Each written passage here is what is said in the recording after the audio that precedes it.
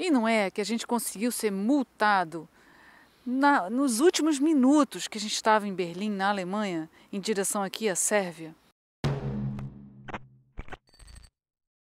Olá, amigos, tudo bem? Eu sou a Patrícia Figueira. E eu sou o Vinícius Teles. Nós somos o casal Partiu. Nós somos nômades digitais há sete anos. É isso aí, a gente está na estrada desde 2010 e nesse momento a gente está aqui em Belgrado, na Sérvia, um lugar que a gente ama demais. Na verdade, a gente está num café, uma gracinha, chamado Aviator, no centro de Belgrado, e é lindo esse lugar.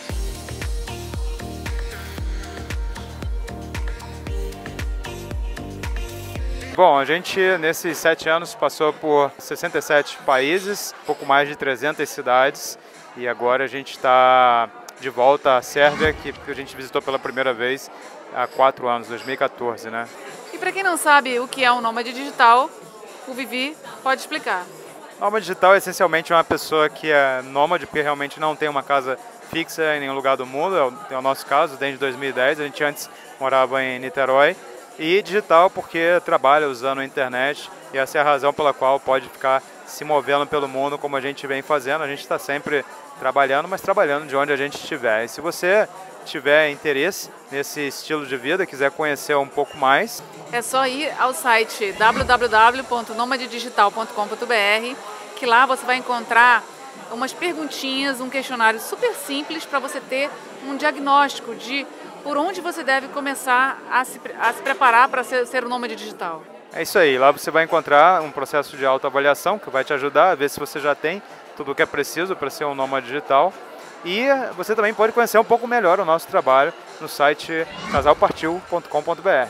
Nesse exato momento, a gente está gravando esse vídeo em fevereiro de 2018, mas a gente quer dar uma atualização sobre o que aconteceu desde dezembro para cá, porque acho que é válido. Então, em dezembro, a gente estava na República Tcheca, mais precisamente em Praga, onde a gente estava trabalhando pesado para fazer o lançamento do nosso livro, o livro Nômade Digital. Foi feito, isso aconteceu lá, foi uma correria danada, depois de um trabalho de quase, um trabalho de dois anos, na verdade, que eu passei escrevendo esse livro. Aliás, esse livro é um manual fantástico, tem tudo, absolutamente tudo que você precisa saber para ser um nômade digital, mas tudo mesmo, assim, é, é uma obra única no Brasil e praticamente única no mundo também, em termos de abrangência, em termos de quantidade de conhecimento que você pode ter lá. Então a gente fez essa iniciativa enquanto a gente estava em Praga.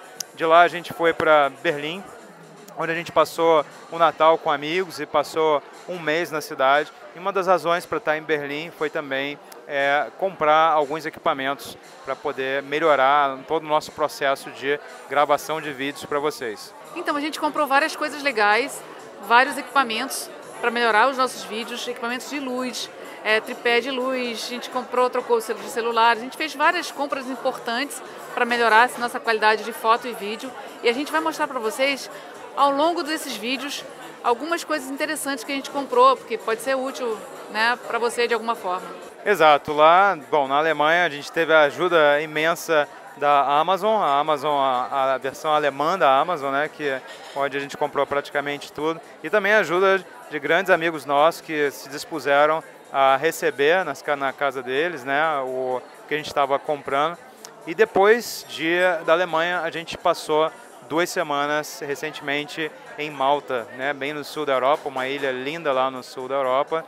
E o grande propósito desse período que a gente passou lá, além de conhecer um lugar novo, a gente ainda não tinha é, ido a Malta, foi fazer a gravação dos vídeos de venda é, do nosso livro. Esses vídeos de venda vão entrar no ar nas próximas semanas e a gente aproveitou o tempo que estava lá para fazer as gravações deles, até que há poucos dias atrás a gente então veio para cá, para Belgrado, na Sérvia. Fiz algumas fotos de Malta, coloquei lá no nosso Instagram.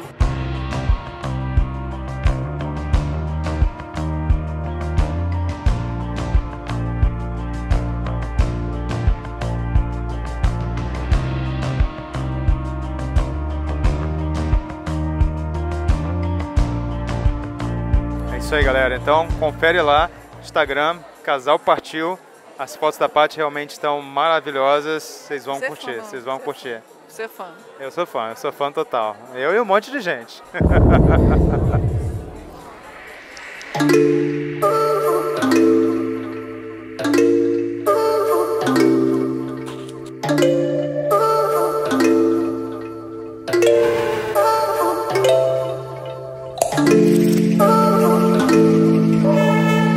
Bom, agora a gente está aqui na Fortaleza de Belgrado, um lugar super bonito. Tá nublado agora, de manhã fez sol, devia estar mais bonito de manhã. Mas ok, a gente vai voltar aqui outras vezes para ver esse sol brilhando e essa fortaleza num dia de sol que realmente faz toda a diferença. Essa semana que passou, a gente saiu de Malta em direção a Belgrado e a gente fez umas baldeações aí no meio do caminho.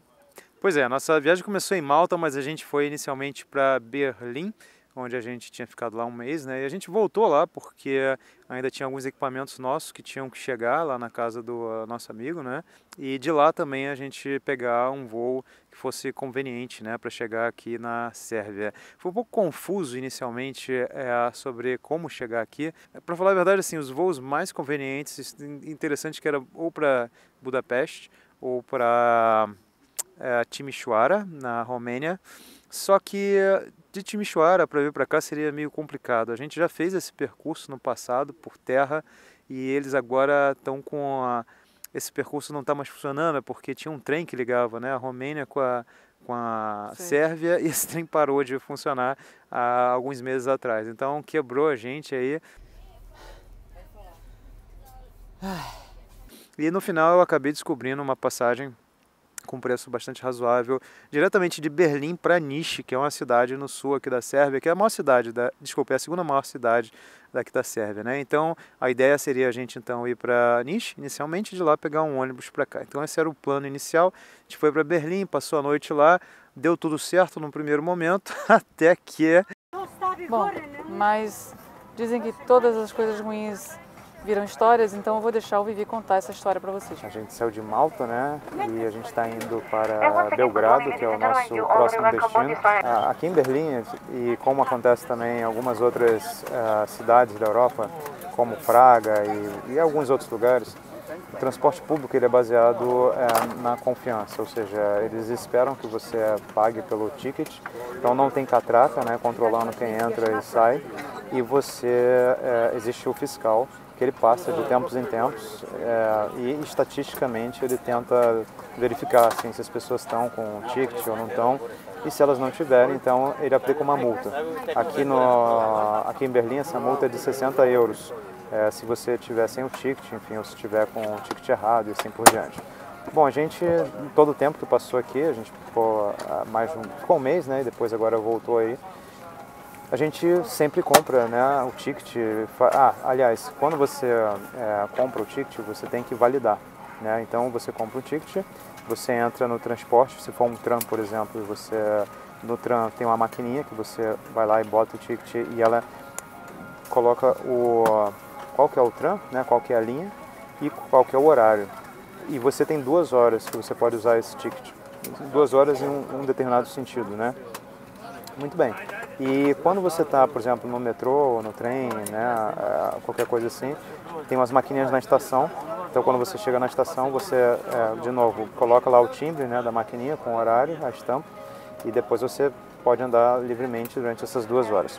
Bom, no nosso caso, hoje, o que, que aconteceu? É, eu ontem à noite, antes até, já, já em preparação, eu comprei o ticket e uh, quando a gente entrou hoje no, no tram, eu simplesmente fui lá, né, uh, coloquei lá o, o, o carimbinho, né, o, a estampa e beleza, achei que estava tudo bem. E na verdade não estava tudo bem, porque eu dei um mole, um mole assim que muito mole mesmo, mas que eu realmente não, não me toquei é, de forma alguma sobre essa parada. É, é só um detalhe, é, é bem difícil você ver um fiscal aqui em Berlim. E nas outras cidades, às vezes, também. A gente, por exemplo, ficou um mês em Praga, usou bastante transporte público. A gente não chegou a ver fiscal lá em nenhuma vez. É, aqui em Berlim, a gente tinha visto uma vez no tram, e a gente estava com o ticket, estava tudo bem, tudo certinho. sempre está com o ticket, né? É, a gente sempre está com ticket, sempre está tudo certo. Aconselha, a gente até aconselha amigos que, de repente, ah, estão sem ticket, não, vamos comprar, porque isso é o certo a fazer e tal. A gente sempre claro, tem a gente essa, sempre, sempre essa tá intenção de, é, nunca, de ter, a gente nem, né? A gente nunca, não tem intenção de burlar nada. É, nunca teve intenção de dar balão nenhum. Mas o que aconteceu hoje foi um erro bobo, na verdade. Então a gente foi, estava é, com o ticket, estava vindo para o aeroporto. Como eu falei, é bem raro você ver um fiscal. E quando a gente estava. É, a gente está hoje, é, tipo, é o último dia, a gente está indo embora da, da, Alemanha, né? A gente não vai entrar aqui pelos próximos três meses, né? Porque a gente é, não sei quando na vida a gente vai voltar aqui. É. Mas enfim, a gente exatamente no último dia e não só isso. É, o, o, trem da, da, da, do centro para o aeroporto ele leva uma hora, mais ou menos.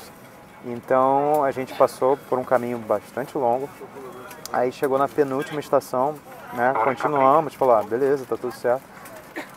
Quando mal passou da penúltima estação, eu comecei a ouvir o barulho do cara pedindo ticket, vindo meio que na nossa direção. Tô tranquilo.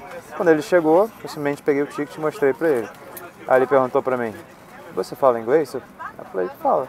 Quer dizer, ele perguntou: "Você fala alemão inglês?" Eu falei: "Fala inglês". Aí ele: "Olha, é, esse ticket aqui não é suficiente". Aí eu: "Ué, mas por quê?" Ele falou: "Então, é, esse ticket, ticket é só para a zona A e B". E o aeroporto fica na zona C. Que é o aeroporto eu, da Ryanair. Né? Caraca, é, que é o Schonefeld, o aeroporto da, das companhias low cost, né? Eu falei, caraca, zona C mesmo, tem ticket aqui, tem esse lance de zona aqui. Porque o que acontece? Aqui em Berlim tem essa, realmente essa questão das zonas. E uh, se você vai para a zona C, que eu, que eu acho que é A, B e C, né? E aí se você vai para C, o ticket é um outro, que é um ticket um pouco mais caro. E... Eu não sabia, quer dizer, eu sabia que existia a zona C, só que desde que a gente chegou aqui, tudo que a gente faz é na zona B, porque a zona B ela é muito ampla, ela pega a cidade toda, na verdade. Então, nunca nem lembrei que tinha esse negócio de zona. Eu estava até falando com a Paty. Tem, tem uns outros lugares é, que isso é, isso é uma coisa mais, como é que eu vou dizer, é mais nítida no seu dia a dia, né? Por exemplo, em Londres, é, quando eu morei um tempo lá em Londres, era assim, tipo, a gente tinha isso muito claro, porque a cidade ela é dividida em seis zonas e cada uma, né, meio que tem um valor diferente, então você fica bem ligado nisso o tempo todo. Qual é a zona que eu estou indo e eu vou comprar a passagem equivalente. Inclusive lá, você, é, quando vai sair da, da é, quando você vai sair da estação, se você não tiver com o ticket certo, ele já alerta assim na hora, né? Então não, não tem como, você está sempre ligado nesse negócio de zona. Em Berlim é o contrário, você está sempre desligado desse problema de zona porque você sempre está cobrindo tudo com o ticket básico. O ticket básico aqui, ele já cobre a zona A e B. Então você não lembra disso nunca, assim. É, em, em, em, Londres não, é bem divididinho, assim, né? O ticket até a zona 1, 2, 3, é bem dividido. E aqui não é nem um pouco, assim, é só A e B cobre praticamente a cidade toda. Então eu fui no piloto automático ontem, assim, eu fui lá, comprei. Não só ontem, aliás, no, quando a gente foi para Malta e voltou, eu também usei esse mesmo ticket, ou seja, já podia ter sido multado antes o cara virou e falou, olha, você precisava de um ticket da zona C. Eu falei, caraca, meu irmão, nem sabia. Depois eu falei, é, faz sentido, porque o aeroporto é muito longe e tal. Aí eu, tá bom. Então ele falou, dá aí o passaporte, vamos descer aqui, já era a última estação, que era o aeroporto mesmo. Então ele pegou o passaporte, enfim, anotou lá a, a multa, entregou a multa pra gente e falou, olha, são 60 euros por pessoa, você quer pagar agora ou quer pagar depois por transferência? Ah, vou pagar depois por transferência.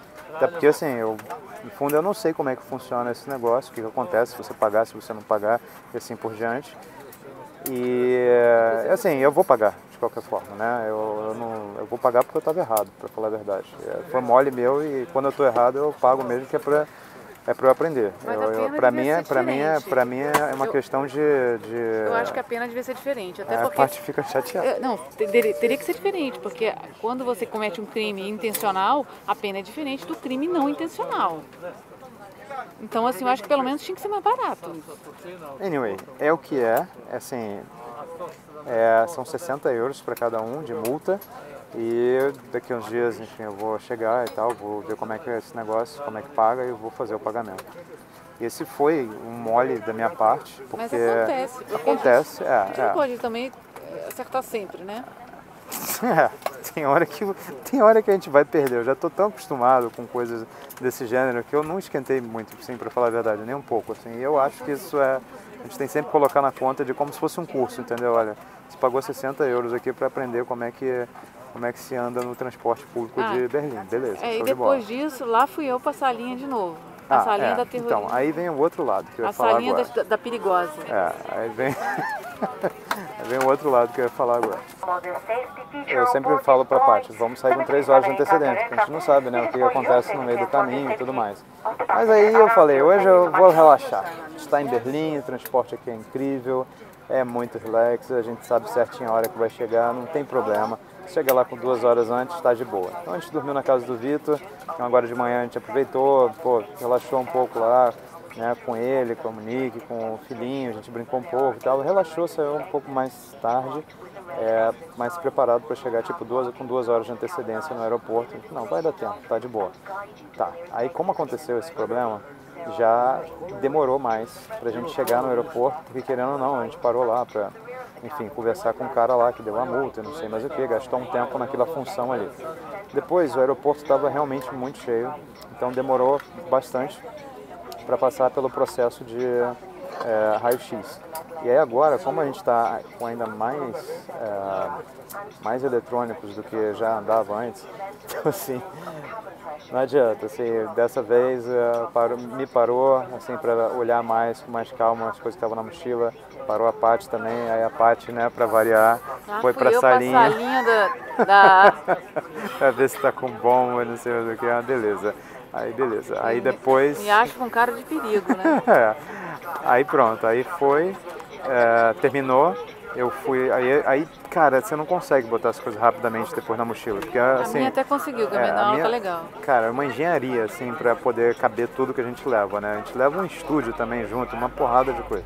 Então, terminei, aí fomos lá arrumar as coisas, mó tempão pra poder botar tudo bonitinho, não sei. Quando eu olho, falei, caraca, tem 10 minutos, teoricamente, pro portão fechar. E a gente tava do outro lado do aeroporto, tinha que ir lá pra, pro embarque, passar por imigração. Puta, ou seja, porque a gente que demorou mais para vir, se tivesse vindo como sempre, né? Se tivesse chego, chego três horas de antecedência, não ia ter problema nenhum. Mas não foi o caso, então ficou bem apertado, a gente saiu correndo pelo aeroporto, deu tempo, chegou, a gente está aqui agora é, começando o voo. Mas é isso, é, fiquem ligados nessa sim. questão aí. Então, hoje é o grande dia, porque eu tava com muita, muita vontade de chegar no leste europeu. E a gente está indo para Sérvia. E eu tô sonhando com aquela piescavica que eu vou comer assim que eu bater o pé no país. Pois é, é uma pena o que aconteceu, mas beleza, a gente chegou aqui na Sérvia muito felizes de termos, de termos chegado aqui, ainda mais depois dessa, dessa experiência, né? Então a gente chegou, o aeroporto de Niš é um aeroporto bem pequenininho, para falar a verdade, e aí é engraçado, porque é aquela confusão assim, né? Sai todo mundo do avião e tem pouca gente na imigração. Chegou na imigração, a gente encontrou lá com um, oficial que provavelmente nunca tinha visto um brasileiro passando por ali, ou ele não estava acostumado com isso. Então ele levou um tempo ali olhando para o nosso passaporte, tentando desvendar se a gente precisava de visto ou não. Aí pediu ajuda lá para um amigo né, e tal, e eventualmente. E viemos para Belgrado, deu tudo certo. E aí a gente chegou no nosso apartamento, apartamento lindíssimo, né? Que a gente Ai. vai falar um pouco mais sobre ele aqui para vocês.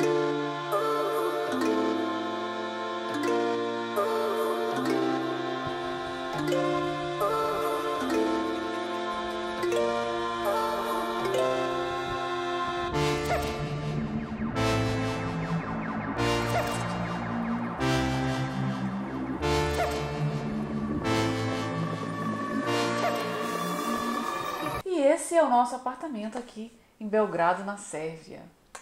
que a Paty que descobriu esse apartamento e ele era muito acima do que a gente normalmente pagaria né, por um apartamento e claro, como sempre, rolou aquele processo de negociação, felizmente deu tudo certo, Aquela cartinha marota, né? aquela cartinha marota. Para quem não sabe, já há alguns anos a gente negocia os valores das acomodações dos apartamentos que a gente aluga pelo Airbnb.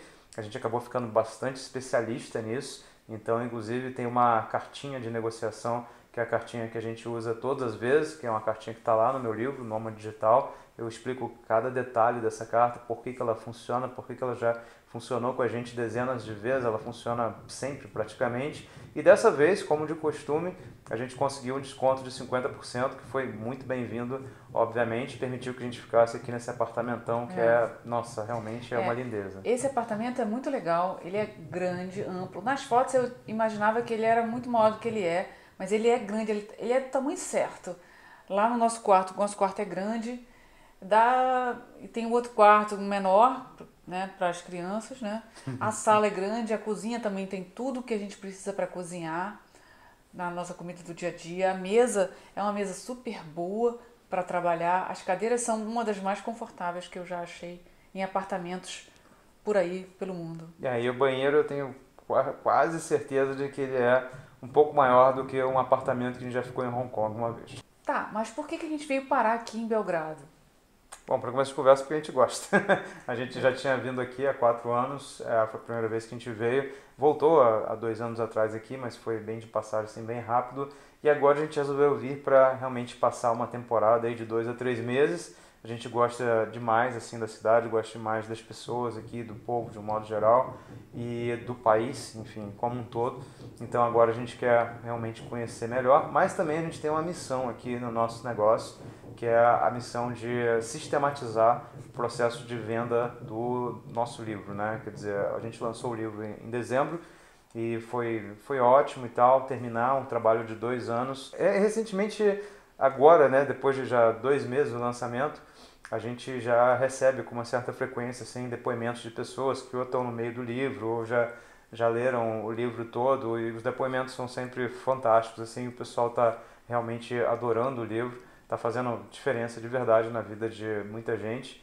E agora a gente está aqui com uma missão em Belgrado, que é de sistematizar o processo de venda. Quando eu digo sistematizar, é realmente criar um processo de automação em que a gente trabalhe com anúncios né, no início lá, quer dizer, quando a pessoa chega, ela normalmente vai chegar por conta de algum anúncio que ela viu em algum lugar. É, em função desse anúncio, ela entra num funil de venda, ela começa a saber mais sobre o que, que é o livro, como é que ele pode ajudá-la e eventualmente uma parte dessas pessoas é, compram um livro, depois que compra o livro, todo um processo de automação também para educar as pessoas sobre a melhor forma de ler o livro, né, de colocar no seu dispositivo e assim por diante.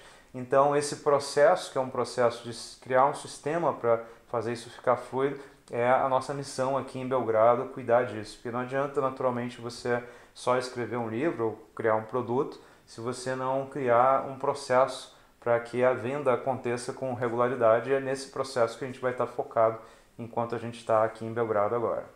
Por outro lado, eu tomei coragem e decidi, por que não, fazer um curso de fotografia para celular. Ou seja, a ideia é que a captura seja feita pelo celular e todo o pós-processamento também seja feito no celular. Toda a parte de edição, né? Das é, fotos. toda a parte de edição das fotos seja feita no celular.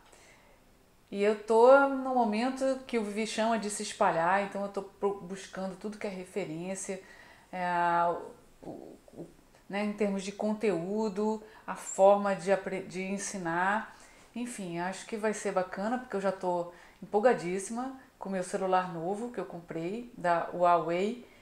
E eu não tinha ideia de que esse mundo né? Eu não tinha ideia do que se pode fazer com o celular hoje em dia. Porque antes a gente estava com um celular que não, não motivava a gente muito. Né? A gente tinha um iPhone yeah. 5C, ele era muito pequeno, ele é muito pequeno e acabava que não tinha muita memória e tal.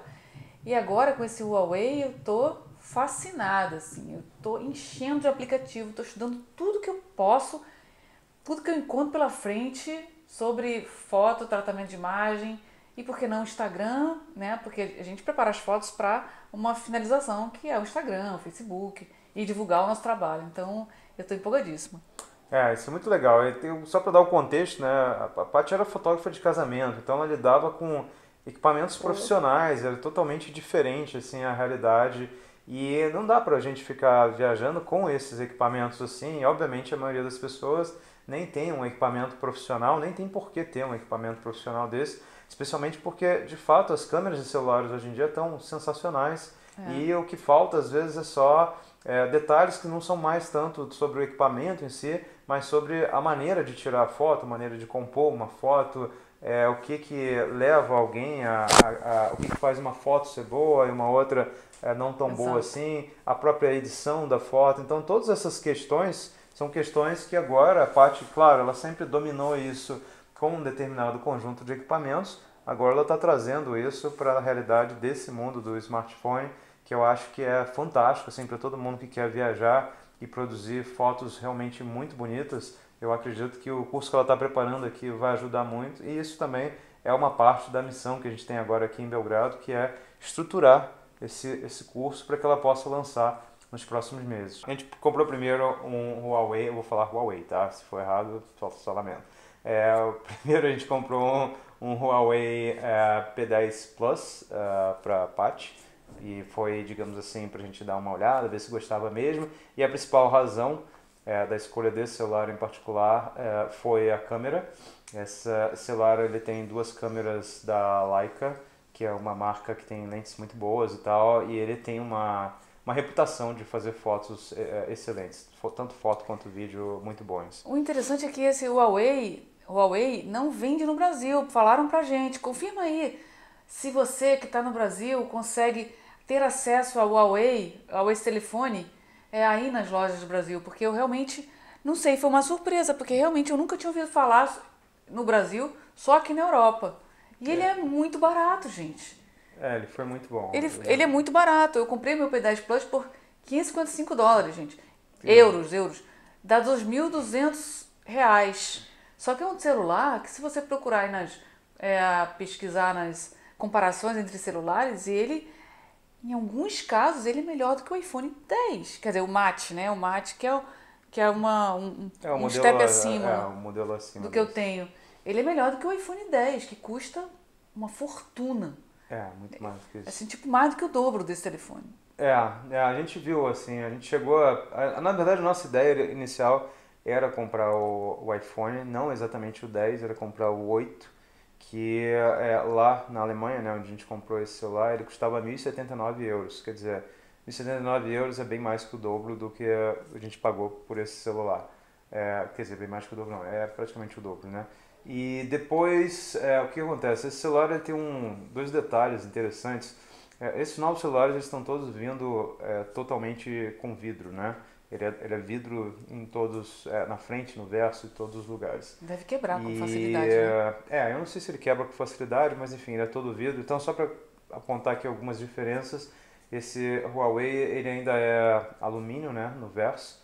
E uma coisa que a gente gostou também é o fato de que ele ainda tem o, o plug para você colocar fone, além do plug para você fazer a carga dele, ele também tem um plug para o fone, porque realmente todos os novos estão vindo é, sem o plug para o fone, ele só vem com o plug para carga, e esse precisa ficar usando um adaptadorzinho e tal. A gente não curtiu muito esse negócio, para falar a verdade, é. e meio que todos hoje em dia estão assim, inclusive o, o que vinha acima desse, que era o Mate 10, já era assim também, então isso deu uma desmotivada. Mas enfim, a gente comprou esse a câmera a gente viu que realmente é, é espetacular, inclusive a gente está usando agora para fazer esse, esse vídeo aqui.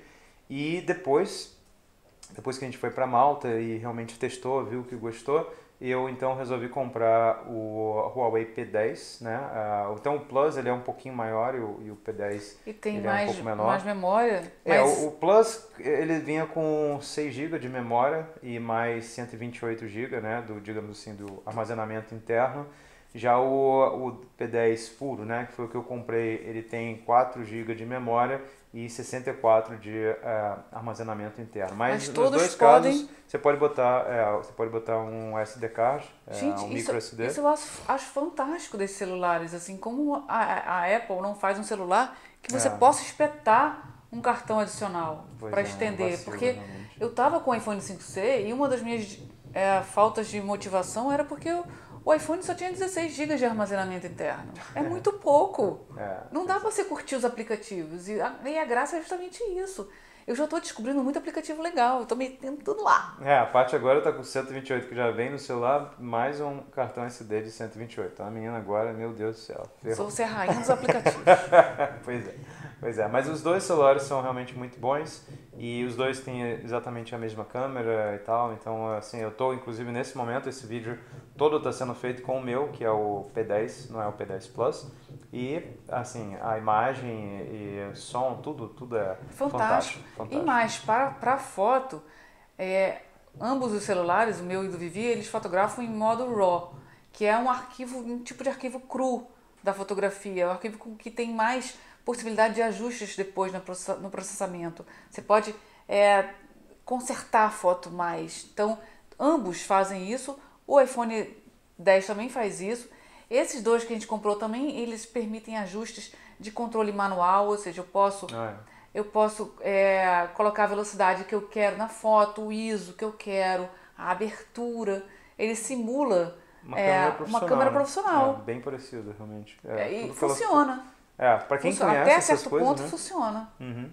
Olha, tamo, estamos muito impressionados. E, fora que o Android em si a gente não conhecia. Quais são as suas impressões sobre o é, Android? É, é, o Android sempre me pareceu um negócio meio ruim, assim, para falar a verdade. Scary. Mas é como tudo na vida, né? Eu acho que é, parece ruim no primeiro momento pela falta de familiaridade da gente com as coisas. E agora a gente foi forçado a mexer de fato mais no Android. A gente ainda está em processo de aprendizado, mas a gente está gostando, assim, para falar a verdade, ele é tão bom quanto o iPhone e o iOS, né? em vários aspectos talvez até melhor, para ser sincero. Então está sendo uma surpresa positiva e eu acho que isso tem a ver também com é, todo o tempo né, que já tem aí de é, Android. Quer dizer, quando começou realmente eu acho que a Apple estava muito à frente e agora os dois estão praticamente muito semelhantes e talvez realmente o Android agora esteja até melhor. A Apple andou meio que é, não tão incrível assim nos últimos tempos, eu acho. É. E, então a gente está feliz, com, tá feliz com essas compras. Uma outra coisa legal que a gente comprou enquanto a gente estava em Berlim foi um modemzinho que a gente viu quando o Luciano La Roça visitou a gente lá em Berlim. Ele usava um modemzinho que ele tinha comprado em Portugal, colocava o chip no modem e aquilo permitia que ele acessasse a internet, né? Uhum. De vários, ou seja, criasse um Wi-Fi. Falei besteira? Não, tá falou certíssimo. É isso que, você acrescenta alguma coisa? Não, é que é isso. É, é, é, chamado de MIF, né? Que na verdade é um modem que transforma aquela, aquele seu sinal de 3G ou de 4G numa conexão Wi-Fi. Então você, no nosso caso, por exemplo, é bem interessante porque como somos duas pessoas, a gente pode comprar um chip só na empresa de telecom e a gente pode acabar compartilhando isso entre nós dois. Claro que a gente já podia, de certa maneira, fazer isso antes, tipo, um bota o chip no celular e compartilha a conexão com o outro. Mas aí você tem um problema da bateria, né? Isso consome mais bateria do celular. O próprio fato de você usar uma conexão 3G ou 4G consome muito mais a bateria do celular do que você usar uma conexão Wi-Fi. Então a grande vantagem desse aparelhinho, na verdade, é, além da gente compartilhar o mesmo chip, essa possibilidade de preservar a bateria dos nossos celulares, né, quando a gente estiver na rua. E, eh, enfim, se a gente estiver também com algum outro dispositivo, um iPad ou qualquer coisa que seja assim, já está todo mundo configurado para usar agora esse, esse dispositivo. E é isso, espero que vocês tenham gostado desse formato de vlog, assim, mais falado, mais contado. E a gente se vê na semana que vem. Até a próxima, galera. tchau. tchau. tchau.